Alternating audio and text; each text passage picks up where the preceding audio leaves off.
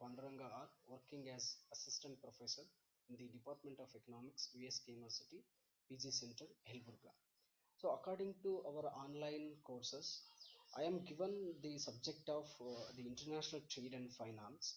So here I would like to have a uh, discussion on the topic of uh, the motives for international capital movements. So it is there in the third chapter of international trade and finance.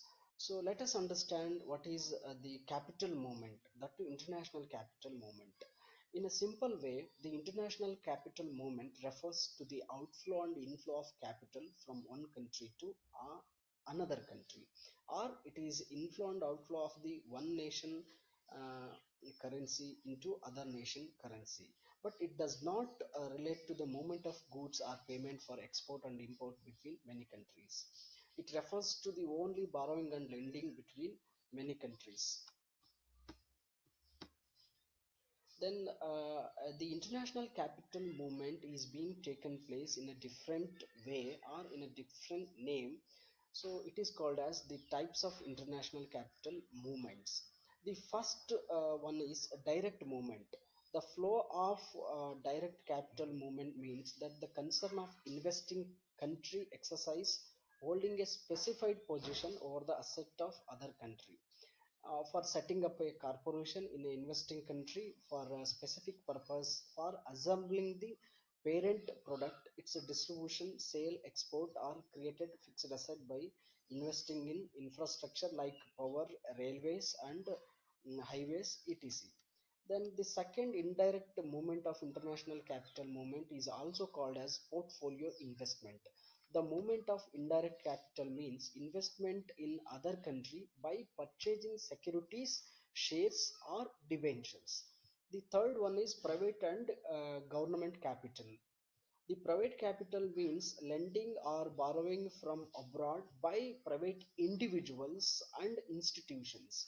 The private capital is generally guaranteed by the government or other central uh, bank of borrowing country the private capital uh, uh, main motto is profit motive is the principle.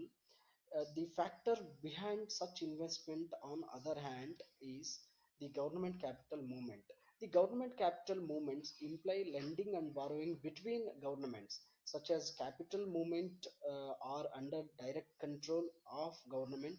In fact government are uh, important international lenders they make stability loan loan to finance exports and import and finance particular projects.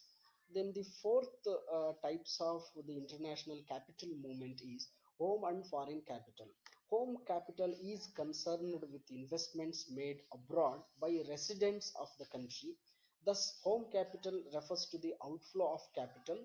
On the other hand the foreign capital implies the investments made by foreigners in, a, in the country foreign capital is concerned with the inflow of the capital.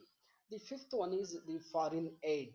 It refers to the public foreign capital on hard or soft terms in cash or in kind intergovernment grants.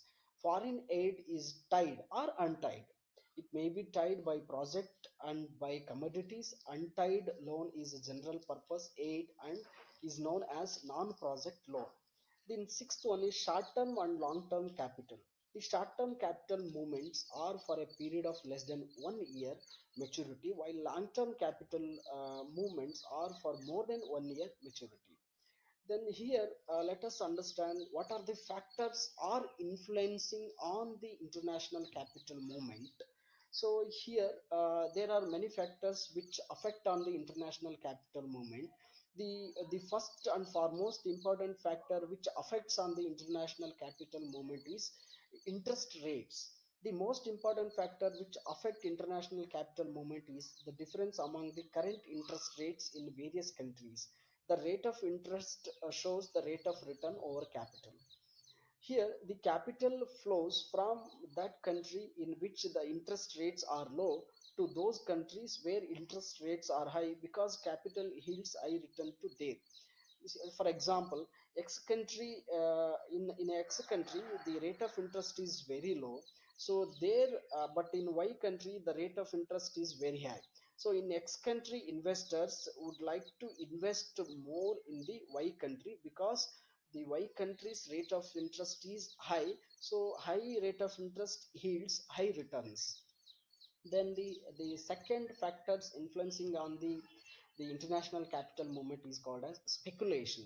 So speculation related to expecting uh, variations in foreign exchange rates or interest rates affect short term capital movements. When speculators feel that the domestic interest rate will increase in future they uh, will invest short term foreign securities to earn the profit this will lead outflow of capital on the other hand, if possibility of fall off in a domestic interest rates in the future, the foreign speculator investing securities at low prices at present. This will lead to inflow capital in the country. The third expectation of profits. A foreign investor always has the profit motives in his mind at the time of making capital investment in other country where the possibility of earning profit is more capital flows into that country. The, the fourth one is bank rate. A stable bank rate of the central bank of the country also influences capital movements because market interest rates depend on it. If the bank rate is low, there will be outflow of capital and vice versa. Then production cost. Usually production cost uh, affects more on the international capital movement the capital movement in the production cost depends on the production cost in other countries in in country where labor raw materials etc are cheap and easily available more private foreign capital flows there uh, because uh, uh, the investor would like to invest more where the the factors of production cost is very less for example, the main reason huge capital investment in Korea, Singapore, Hong Kong, Malaysia and other developing countries by mncs because of low production cost in the uh, given example countries. Then the sixth uh, factor affecting on the international capital movement is called as economic condition. The economic condition of a country, especially size of market, availability of infrastructure like uh, the means of transportation and communication power and other resources efficient labor etc encourages the inflow of capital. Suppose if any country has the sufficient infrastructure like uh, as i said uh, the transport communication power and other resources usually foreigners will uh, uh, tend to interest more in the the same country. The seventh uh, one is political stability is also matters a lot for the the international capital movement. The security of life property friendly relation with other countries etc encourages to inflow of capital in the country. Then eighth one is taxation policy is also influencing on the international capital movement. The taxation policy of a country also affects the inflow or outflow of capital. To encourage the uh, inflow of capital, soft taxation policy should be followed. Soft taxation policy means there should be less tax on the foreign investors. If there is a less tax on the foreign investors, almost all uh, foreign investors are interested to invest because of less taxation. So it also gives relief to new industries and foreign collaborations also then the ninth one is foreign capital policy. Here also uh, the uh, the the policy matters a lot for the international capital movement. The government policy relating uh, relating to foreign capital affects capital movements provision of different facilities relating to transferring profits dividends interest etc to foreign investor will attract more on foreign capital. Similarly fiscal and monetary policy of a country also affect the capital inflow and outflow. Suppose uh, in the monetary policy if we follow the uh, tightened monetary policy usually foreign investors uh, do not like to invest in our country. So it should be liberalized. Even we should have the uh, the liberal uh, fiscal policy. So uh, that leads to more investment by the different countries in different nations then the uh, tenth uh, factor which affects on the uh, on the, international capital it is far most important factor the marginal efficiency of capital. So in macroeconomics this we all read it.